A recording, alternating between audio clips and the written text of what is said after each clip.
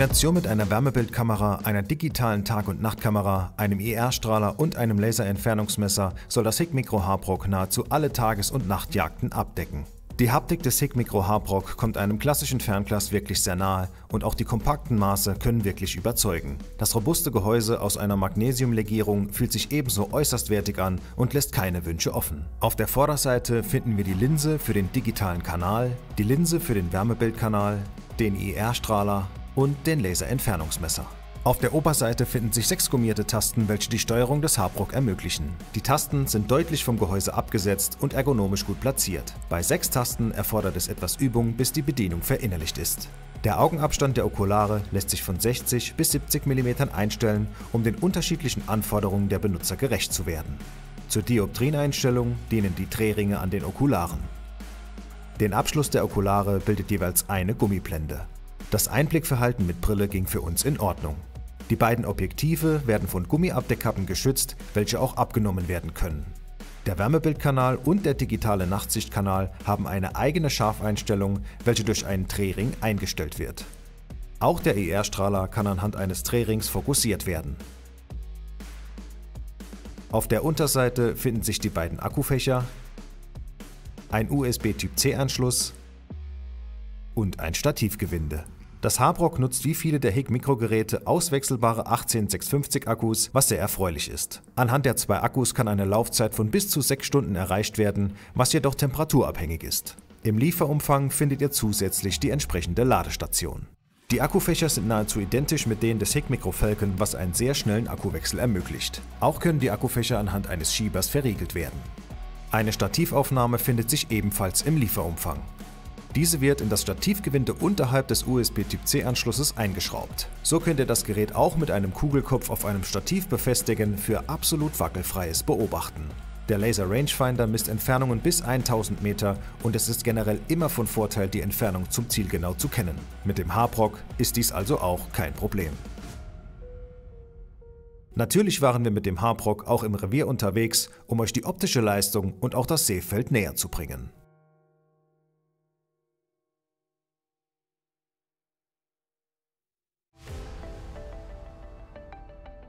Wie immer nutzen wir unser Keiler 3D-Target, um euch das Seefeld auf 50, 100, 200 und 300 Meter zu präsentieren.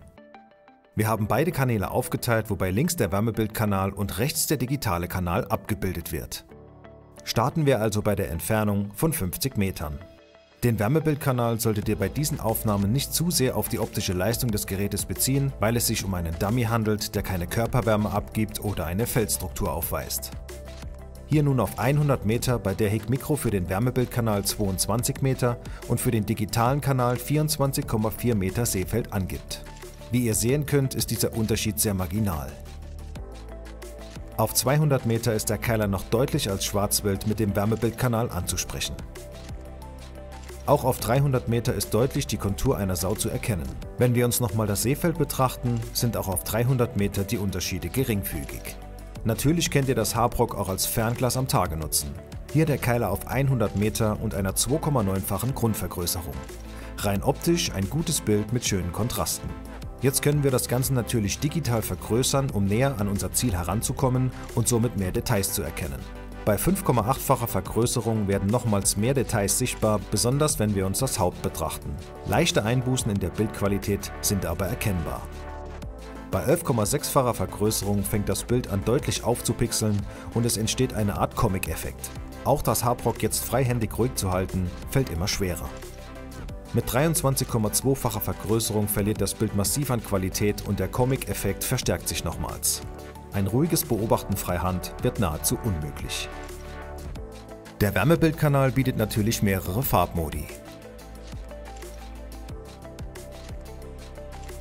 Ihr könnt euch auch eine personalisierte Farbpalette mit euren bevorzugten Modis anlegen. Das erspart euch dann das ständige Durchklicken.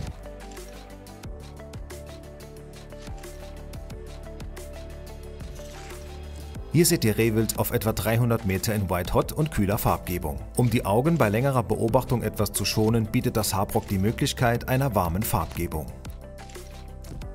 Diese wirkt sich wie zu sehen besonders auf den Kontrast der Wärmesignatur aus. Das Ganze könnt ihr im Menü unter einem separaten Punkt einstellen. Ein weiteres Stück Rehwild, bei dem wir nun die exakte Entfernung anhand des Entfernungsmessers bestimmen wollen. Das Haarbrock misst im Scan-Modus. Es wird also über einen zuvor im Menü festgelegten Zeitraum eine kontinuierliche Messung durchgeführt und das Ergebnis rechts oben ausgegeben. So erhaltet ihr über die Zeit einen ziemlich exakten Messwert, falls ihr das Gerät nicht ganz ruhig hält oder sich das Stück bewegt. Bei diesem Stück Rehwild und dem Fuchs wird das Ganze nochmals verdeutlicht.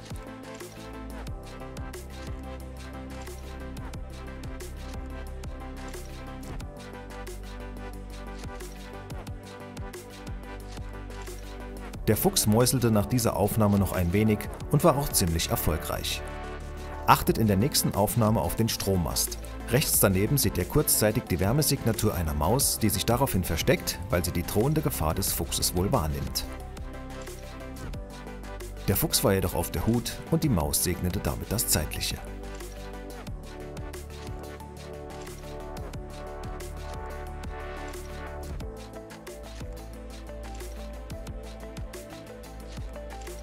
Ein Beispiel für die maximale Detektionsreichweite des Higg-Micro Harbrock, welche vom Hersteller mit 1800 Metern angegeben wird. Hier stehen, wenn ich richtig gezählt habe, 16 Stücke Rehwild auf der Fläche. Ich wollte die Entfernung zum Mittelpunkt der Stücke messen, doch der Entfernungsmesser zeigte nur eine rote Linie, was bedeutet, die Entfernung ist über dem maximalen Messwert von 1000 Meter. Also griff ich die Entfernung weiter unten ab und kam bei der Kuppe auf ziemlich genau 1000 Meter. Die Stücke standen also im Mittel auf etwa 1500 Metern. Somit ist die Angabe der 1800 Meter von Hekmikro als realistisch anzusehen. Wieder Rehwild auf exakt 88 Metern. Nun wechseln wir aus dem Wärmebildkanal auf den digitalen Nachtsichtkanal mit eingeschaltetem IR-Strahler. Bis zu einer Entfernung von 100 Meter lässt sich damit wirklich gut arbeiten. Auf höhere Distanzen wird das Ganze dann natürlich zunehmend schlechter. Bei 5,8-facher Vergrößerung pixelt das Bild zwar auf, ist aber definitiv noch brauchbar. Das Higg Micro Harbrock ist wirklich ein extrem vielseitiges Gerät, welches tatsächlich nahezu alle Tages- und Nachtjagden abdeckt. Es ist äußerst kompakt und die Haptik kommt einem echten Fernglas wirklich sehr nahe. Der Wärmebildkanal überzeugt mit sehr guter Leistung und auch das Sehfeld geht voll in Ordnung. Der Nachtsichtkanal ist bis 100 Meter sehr gut zu gebrauchen und kann unter Umständen äußerst nützlich bei der genauen Ansprache der Stücke sein. Das Harbrock als Fernglas für die Tagesjagd zu benutzen, ist ebenso ein nützliches Ausstattungsmerkmal. Jedoch kommt es natürlich nicht an die Abbildungsleistung eines echten Fernglases heran. Digital vergrößert werden solche Dinge wie die Rosen oder die Perlung eines Gehörns mit zu wenig Details abgebildet, was die Ansprache erschwert. Der Entfernungsmesser konnte in der Praxis absolut überzeugen und komplettiert dadurch das multifunktionale Konzept des Harbrock. Die Steuerung erfordert definitiv etwas Übung. Zählen wir zusammen, kommen wir auf 10 Elemente, an denen Funktionen oder Einstellungen vorgenommen werden können. Auch wir mussten uns erst etwas an das Harbrock gewöhnen, konnten aber nach einiger Zeit gut damit umgehen. Auch der Betrieb mit den 18650 Akkus ist sehr erfreulich. Sie liefern eine gute Laufzeit, sind kostengünstig und zudem weisen sie kompakte Abmessungen auf. So finden Ersatzakkus spielend im Jagdrucksack oder gar in der Hosentasche Platz.